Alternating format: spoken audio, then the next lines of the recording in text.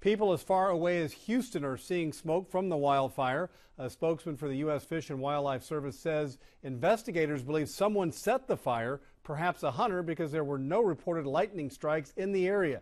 KFDM's Lauren Huet reports the Wildlife Service is following a plan to contain those flames.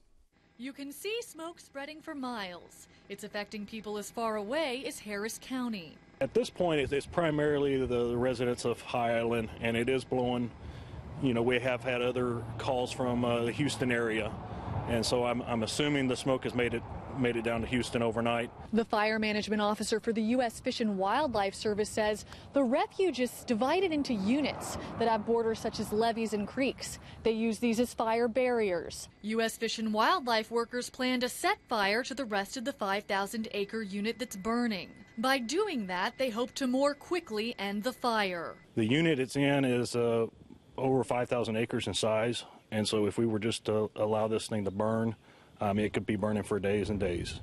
And so, because of the smoke it's putting up in the direction the smoke is headed, we're going to try to try to get on top of it and, and hurry it along. The refuge assistant manager says it was not a controlled burn. The parameters that, that we use, if, they, if they're not in place, you can really start causing other issues with, uh, you know, smoke shutting down airports or you know, causing multi-car pileups on 73. We saw that happen last year. Crenwelge says whether a fire is wild or controlled, it benefits marsh wildlife.